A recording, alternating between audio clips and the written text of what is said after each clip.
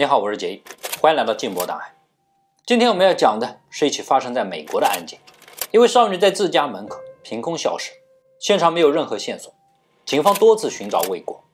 嚣张的凶手公然叫板警方，多次打电话反复折磨受害者家属，还喜欢戏弄受害者，让他们选择离世方式。这就是少女莎莉家门口失踪案。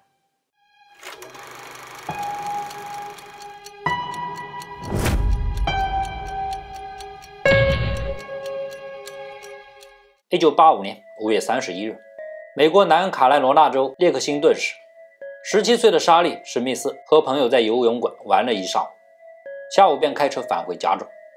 路过邮箱时，莎莉停好车去邮箱取信。她的父亲保姆平时就在家中工作，通过办公室的窗户可以看到不远处的邮箱。保姆听到汽车的声音后，从房间内向外张望，发现莎莉的车正停在离家一百五十米的邮箱旁。他觉得莎莉很快就会回来，于是继续忙手里的工作。当他再次抬头看向窗外时，才意识到时间已经过去很久了，但女儿并没有回家，车子还停留在原地。他觉得有点不对，于是赶紧走出家门查看，外面空无一人。大喊了几声后，也没人回应。当他来到车前，发现车钥匙还插在车上，主驾驶车门开着，副驾驶座上还放着钱包，莎莉也不在车里。地面呢有一行走向邮箱的脚印，但却没有返回的脚印。同时，邮箱旁还散落着几封信件。难道是取信时发生了什么吗？鲍勃赶紧跑向邻居家询问是否见到自己女儿，但他们都表示没有见过。找寻未果后，鲍勃立即选择了报警。接到报警的詹姆斯梅兹来到现场后进行了实地勘查。莎莉有一位姐姐迪恩和一个弟弟罗伯特，并且时值毕业。莎莉准备好好玩一玩，绝不会毫无缘由的突然离开。因此，詹姆斯推断莎莉可能被人绑架了。可是让詹姆斯不解的是，他们一家在当地名声都很好，并没有仇家，谁会绑架莎莉呢？而凶手又是如何在鲍勃的眼皮底下悄无声息把莎莉带走的呢？詹姆斯便派出大批警力对莎莉失踪的区域进行大范围搜查。即便这是一场声势浩大的搜寻，结果还是大失所望。没有发现莎莉的任何踪迹，史密斯一家万分焦虑。詹姆斯想到，如果是绑架的话，凶手极有可能会打来电话，所以便派人在史密斯家的电话里装了定位和监听装置，以便及时掌握凶手的动态。果不其然，六月一日夜里两点三十分，史密斯家的电话突然响起了。只听电话那头传来冷冷的声音：“请莎莉的母亲接电话。”当莎莉的母亲希尔达接起电话时，男子说道：“莎莉现在正和我在一起，她的外衣里面穿着一套黄白相间的游泳衣。”电话那头还说：“请不要担心，我们看了一会儿电视，吃了点东西，等莎莉玩够了就送她回家。另外，六月二日你们会收到一封由莎莉亲笔写的信件，注意查收。”说完便挂断了电话。这个电话让夫妻二人非常不安。从对方描述中可以肯定，莎莉是被绑走了。但奇怪的是，绑匪并没有提出要赎金，还说莎莉会回来。打电话的人到底是谁呢？他的目的又是什么呢？来不及多想，鲍勃立刻将这一情况告诉了警方。通过电话锁定到了一个距离史密斯家二十英里远的公共电话亭。此时凶手肯定早已消失得无影无踪，电话亭里也没有找到一丝线索，现场被处理得很干净。六月二日早上。邮局里异常忙碌，詹姆斯带着警员在众多信件里寻找寄给史密斯夫妇的信件。很快，他们发现了一封信，上面写着“致史密斯夫妇”。信件一共两页，开头赫然写了五个字：“最后的遗嘱”。字迹经过辨认，确实为莎莉的笔迹。信中，莎莉表达了对家人的爱与不舍，还提到：“我可能再也见不到你们了，但我并不希望我死去这件事毁掉你们的生活。我想在我入葬之前呢。”把棺材封死，不要让别人看到我离世的样子。为什么莎莉会要求一个密封棺材呢？难道他在写信时就已经知道，当自己被发现时一定会变得惨不忍睹吗？读完信的史密斯一家彻底崩溃了，因为这封信预示着他们的期待将不复存在。这时，家里的电话铃声再一次响起。凶手问：“你们收到莎莉的信了吗？”希尔丹冷漠地说：“信已经收到。”我的女儿怎么样了？请你不要伤害她。可凶手却说：“过几天你就会知道答案。”随后挂断了电话。这一封信也被送往执法犯罪实验室进行化验，但信上除了莎莉的指纹、手印外，并没有其他有用的线索。六月三日晚上，凶手又一次打来电话，他说：“莎莉已经成为我生命的一部分，无论是心理、身体还是情感，我们的灵魂在一起了。”凶手这一番话让史密斯一家难以接受。根据信号追踪，电话是从三十公里外的一个电话亭打来的。詹姆斯便立即带人赶了过去。不过，当赶到时，电话亭空空如也，只有没来得及放回原位的电话在晃动。以电话频次来看，凶手似乎很享受这种一天一个电话的骚扰方式，但这种方式呢，却让史密斯一家备受折磨。六月四日，凶手再一次打来电话，还对希尔达说。莎莉是在六月一日凌晨三点十分写的这一封信。凌晨四点五十八分，我们拥有了共同的灵魂。希尔达问：“这究竟是什么意思？”凶手却说：“你没有资格问问题。另外，告诉列克星顿治安部的詹姆斯，不要再寻找莎莉了，因为他做的都是无用功。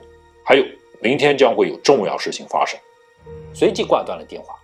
六月五日中午，凶手再一次打来电话，这一次他一反常态。并没有说一些稀奇古怪的话，反而直接给了一个地址就挂断了电话。根据凶手提供的地址，在距离史密斯家十八英里处的一座白色房屋后面，果然找到了莎莉。不过此时已经变成了一具冰冷的身体，脸上缠绕着数层胶带，一丝不挂。经法医检验，确认莎莉的离世时间为六月一日凌晨五点左右，最终死因是窒息，离世时间和凶手所说的时间完全吻合。由于天气炎热，莎莉的身体开始出现腐烂，因此也无法判定她生前是否遭受过侵犯。而缠绕在莎莉脸上的胶带也没有提取到任何有用线索。这时，史密斯一家才明白凶手所说的拥有了共同的灵魂的真正含义。更令人难以接受的是，在找到莎莉遗体后，凶手依旧没有停止给史密斯家打电话。六月六日，凶手告诉迪恩：“非常抱歉，我只是想和莎莉交个朋友。现在我有点后悔了。”我正在考虑应该去警察局自首，还是自行了断的。本以为凶手良心发现，事情呢也快结案了。然而六月七日，凶手再次打来电话，并说道：绑架当天，他让莎莉写了信，然后侵犯了她，最后还让她自己选择离世方式，是枪毙、吸药过量还是窒息。最后莎莉选择了窒息，然后就用胶带缠着她的头，还说上帝已经准备好接受她成为天使。说完电话。他就挂断了。这些事实证明，凶手既不是良心发现，也不是自我安慰，而是又一次挑衅。由于凶手每次打电话都使用变声器，而且所使用的公共电话亭位置不同，以至于警方数次扑空。根据对凶手的现有线索，FBI 心理测写室对犯罪嫌疑人进行了测写：二十五至三十岁左右的白人男性，已婚或者离异，从事体力行业，罪犯具有一定的反侦查意识。他不断给受害者家人打电话，说明他自视甚高。总之，这肯定不是凶手第一次作案，而且也不会是最后一次。很可能马上呢就会有其他受害者出现。果然，六月十五日，一名叫黛布拉·梅·赫尔米克的姑娘和弟弟在家门口玩耍时被绑架消失。半个月，连续两起绑架案，这让当地居民惶恐不安。心理测写师分析，凶手在如此短时间内作案。是因为他认为警察智商远远不及自己，对自己犯罪充满了信心。但这时凶手已经不再给史密斯家打电话了，仿佛失去了兴趣。看来要破案就只能引蛇出洞。从打电话的时间来看，凶手对史密斯一家的行动了如指掌，每次电话时间都很有规律。比如拿到信件之后，找到身体之后，所以他始终关注着史密斯一家人的举动。一次，警方提议利用莎莉的葬礼来引诱凶手出现，因为凶手十分自信，他很可能会出现在葬礼现场。此时是在寻找嫌疑犯的最佳时机。史密斯一家同意了警方的提议，并在媒体上大肆宣传给莎莉进行下葬的纪念活动，以此吸引凶手的关注。可奇怪的是，葬礼上凶手并未现身。本以为计划失败了，但出乎意料的是，凶手的确关注到了这次纪念活动。当天晚上，凶手再次打通了史密斯家的电话。他的第一句话就让迪恩惊恐万分。他说：“上帝想让你去陪伴你的妹妹，放心，这只是时间问题，没有人能够永远保护你。然后他说：“你听说过奇南县一个叫黛布拉·梅赫尔米克的女孩吗？”紧接着就说出了一个详细地址。此时监听电话的警察心里一惊，凶手提供地址时，意味着失踪的女孩已经遭遇不测。事实果真如此。果然，当警方来到指定地点后，在灌木丛中发现了已经离世多时的黛布拉。凶手在现场以及身体上也没有留下任何证据。就在詹姆斯已经束手无策时，一个新线索打破了调查的僵局。之前的遗嘱信经过深入检测，最终在上面发现了一些不同寻常的东西。因为当初莎莉给家里写信的那张纸，有名警员发现，写信的纸张并不是标准的信纸，它们的边缘都有细小的波浪状撕扯痕迹，因此他认为这几张纸呢是从一个笔记本上撕下来的。如果真是这样，那在这封信的第一张信纸上，很可能会存在笔记本上一页书写时留下的压痕。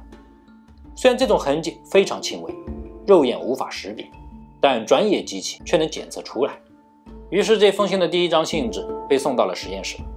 通过信纸上轻微的压痕，研究人员最终还原出了一串数字。詹姆斯意识到，这很可能是一串电话号码，不过只能勉强辨认前几个数字，最后一个数字怎么也看不出来。这组数字的前几位是二零五八三七，属于美国亚拉巴马州号段，所以在依次尝试拨打电话时，都会询问对方是否在南卡莱罗纳州有亲戚朋友。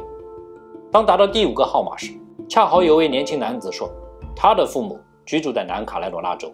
警方根据男子提供的地址发现，他的父母居住地点距离沙利家仅有十五英里，并且电话记录显示，有几通电话正是从爱丽丝家里打出去的。难道爱丽丝就是凶手吗？据调查，爱丽丝五十岁，白人电工，儿子在部队服役，纸上写的正是他儿子的电话号码。不过，莎莉被绑架期间，他正和妻子在外地度假，他的儿子也一直都在军队，他们被一一排除了作案嫌疑。詹姆斯联系到正在外地度假的爱丽丝夫妇，告知了来电的目的，并将一段凶手的录音播放给了爱丽丝夫妇听。谁知爱丽丝刚听了几秒钟，就大喊了起来：“是拉里·基恩贝尔，我的一个好朋友。”拉里·基恩贝尔，白人，三十六岁，出生于阿拉巴马州，从小因父母工作关系延展于各州之间。高中毕业后未能升学，在一家贸易公司从事电工，后搬到了南卡罗来纳州的哥伦比亚定居，并结婚生子。一九七零年加入海军陆战队，入伍不到一年就因清洗枪支时擦枪走火。击中了自己的膝盖，不得不遗憾退伍。退伍后的贝尔在私生活方面非常不自控。他虽已婚，但时常与各种女人鬼混，个人风评很差。侧写是关于贝尔的情况描述，除了年龄稍有出入外，其他情况完全符合。詹姆斯随即让爱丽丝夫妇告知贝尔，他们要坐飞机返回，让他前往接机。随后在机场正式逮捕了贝尔。贝尔可能怎么也不会想到，竟是因为一张信纸的压痕而被捕。原来爱丽丝度假前曾在那个本子上留下了儿子的姓名、住址和电话，作为紧急联系人，让贝尔可以在需要的时候联系他。没想到竟然成为了破案的关键。贝尔被捕后，警方搜查了爱丽丝家，在那里发现了六根金色长发，经过检测呢，都属于莎莉。在抽屉里找到了邮票，和寄给史密斯家信封上的邮票完全相同，证据确凿。尽管贝尔声称谋害案与自己毫无关系，在庭审时还发表“蒙娜丽莎是个男的”等一系列怪诞言论，试图让陪审团相信他有精神问题，本着宗教精神对他慈悲为怀。但他的如意算盘打错了，陪审团完全不相信他的胡言乱语。仅仅四十七分钟后就做出了裁决，判处贝尔死刑。最终法庭决定以恶治恶，让贝尔自己选择是注射药物离世，还是做电影行刑。他可能都没有想到，现在轮到自己做离世的选择题。最终，贝尔选择坐在电椅上。事实证明，没有完美的犯罪，正义虽晚必到。